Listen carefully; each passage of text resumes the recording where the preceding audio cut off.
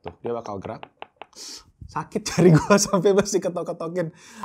Yo, what's up guys? Welcome back to Best in Tech YouTube channel sama gue Malvin. Dan di depan gue sekarang ini adalah sebuah bisa dibilang power bank paling mahal yang pernah gue beli seumur hidup gue guys. Dan ya, kita udah jarang banget ya sebenarnya bahas power bank ya. Biasanya kan biasa selalu diprotes bahas power bank terus. Nah, tapi kali ini power banknya berbeda.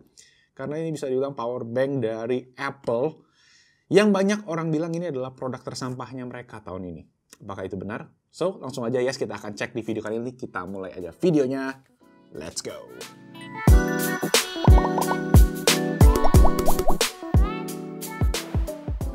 Ya, sebelum gue lanjut, gue mau ngucapin thank you buat NordVPN yang udah sponsorin di episode kali ini. Nah, NordVPN merupakan aplikasi VPN favorit gue buat iOS device terutama guys, karena dia simple dan ada widgetnya.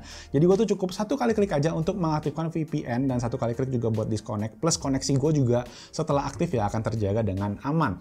Nah, dengan NordVPN kalian itu bisa surfing dengan nyaman dan aman tanpa takut data juga bocor ke dunia maya. Jadi hati-hati untuk data kalian, privacy kalian tuh make sure dijaga. Kalian juga bisa pakai ini untuk berbagai fungsi misalnya kalau kalian pakai smart uh, Android TV misalnya itu ada juga NordVPN di mana kalian bisa pakai untuk mengakses konten Netflix dari negara lain yang biasanya nggak ada di Indonesia. Nah servernya NordVPN juga tersedia banyak banget di seluruh dunia dan yang paling penting lagi adalah ketika kalian pakai NordVPN itu kalian punya koneksi internet itu nggak bakal jadi lemot kayak VPN VPN lainnya. Nah, buat kalian yang pengen berlangganan NordVPN, gue ada voucher diskon sampai dengan 70% plus ada gratis satu bulan tambahan dengan kupon code BITEK. Gue taruh di sini atau kalian bisa aja langsung klik link di kolom deskripsi yang paling pertama ya buat ngikutin atau langganan ke NordVPN. Sip, lanjut. Oke, okay, so first of all shout out buat Apple Watch Stuff yang udah ngirimin produknya karena gue sebenarnya udah pengen beli sama mereka tapi mereka bilang ya udah bro lu cek aja dulu. Sekalian lu bisa kasih pendapat di video kali ini. So yes. Packingnya aman sekali. There you go. Oke okay, nah. Tuh there you go. iPhone battery pack MagSafe. Yes, jadi ini adalah power bank dengan teknologi MagSafe dari Apple yang mana dia kompatibel dengan iPhone-iPhone yang udah pakai MagSafe, which is ya iPhone 12 series. Dan di sini sendiri kalau kita lihat di boxnya tidak tertulis banyak sih ya, cuma tulis kompatibel kayak gue bilang tadi, kompatibel dengan MagSafe iPhone. Jadi kalau iPhone kalian punya MagSafe, and then kita lihat bagian belakang cuma tulisannya iPhone battery pack Oke, di bagian bawah ada nomor seri dan kodenya. Dia cuma ada satu warna, yaitu warna putih aja. Oke, pertama-tama seperti biasa, Apple Green Pill harus dipotek dulu. Oke, here we go. Nah, uh. Oke. Okay. Ya, as always, packagingnya Apple maximal protection. Nanti kita cek, kita lihat dulu sekarang. Ada booklet untuk uh, safety handling, regulatory, dan ada garansi satu tahun dari Apple. Plus ini adalah muatan kartu garansi dengan bahasa Indonesia karena sudah resmi ya, bisa dibilang kali ya di Indonesia. Kita buka kayak gini. Robek guys. Uh, oke. Okay.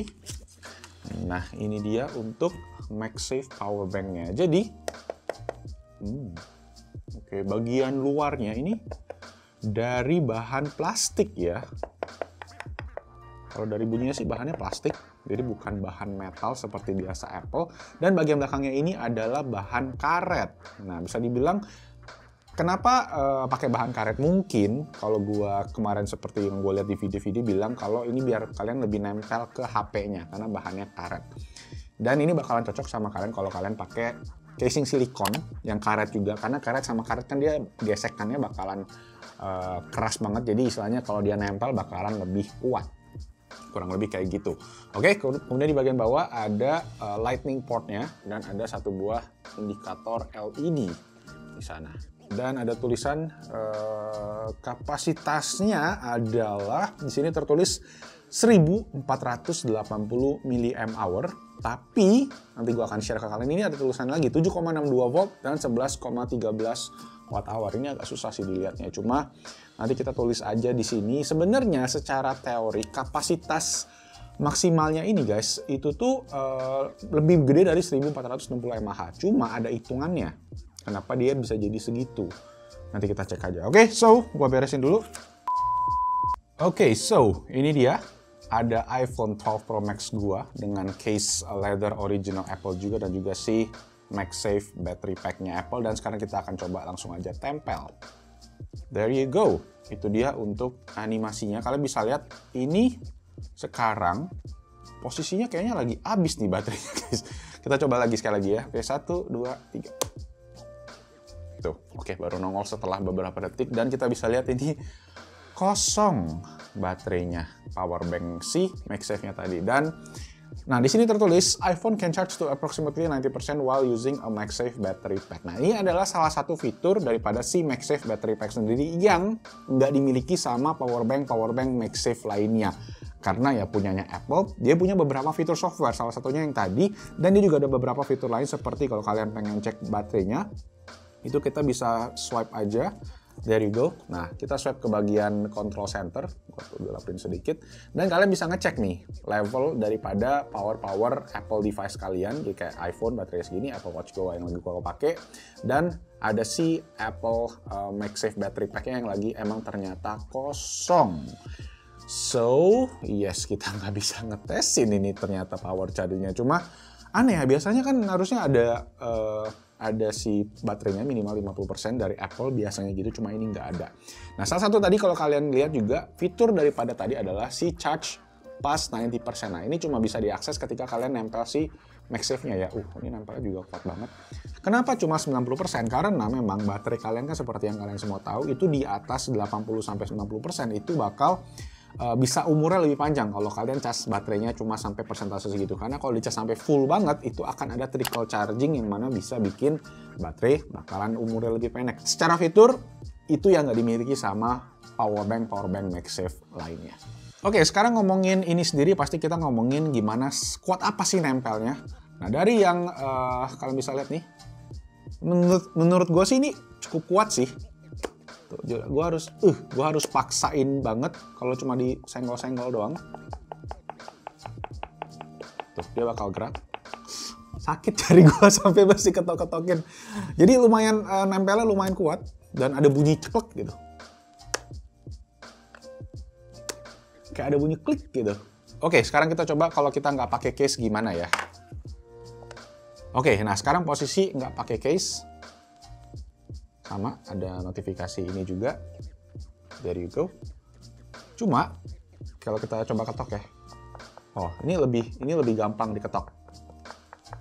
Kenapa? Karena permukaan si satinnya ini guys sama karetnya ini nggak nggak nyocok kali ya. Jadi kalau sama case kan kulit nih. Jadi gesekannya lebih ada. Sedangkan di permukaan yang kalau kalian nggak pakai case ini bakal lebih licin ini sendiri dia ngecasnya sama guys. Jadi dia ngecasnya pakai uh, port Lightning.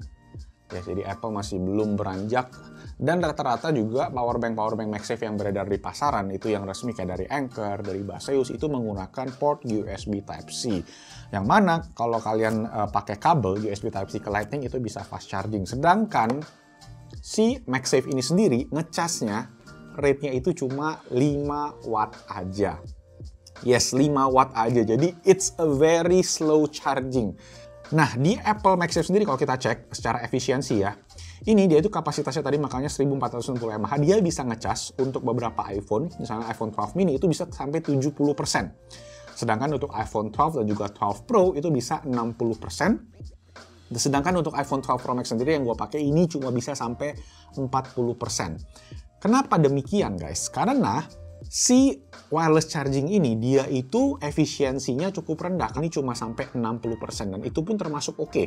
Kenapa ini bisa 60%? Karena kalian bisa lihat nih logo Apple-nya ini bener-bener Tuh, jadi uh, istilahnya dia punya magnet bikin coil wireless charging itu bener-bener nempel sesuai. Makanya dia bisa 60%. Kalau enggak dia pasti lebih di bawah 60% dan efisiensinya kurang. Kalau ngomongin itu sendiri, jadi buat siapa sih Apple MagSafe battery pack ini, menurut gua ya, ini mungkin bakalan kepake banget kalau nanti pandemi udah beres. Apple MagSafe Battery Pack ini bakalan mengisi baterai kalian dan bakalan cukup untuk seharian penuh. Dalam arti buat kalian mungkin yang pakai iPhone 12 mini, iPhone 12 biasa atau 12 Pro yang baterainya nggak cukup seharian, ini bakalan berguna banget buat mencukupi kebutuhan itu. Cuma, lagi kondisi sekarang kayak gini guys, lagi pandemi, ya gua rasa kalian bakalan di rumah ya masih posisinya kan banyak indoor, kalian masih bakalan ada akses ke kabel. Dan gua rasa itu bakal uh, lebih efektif daripada kalian pakai si MagSafe Battery Pack ini.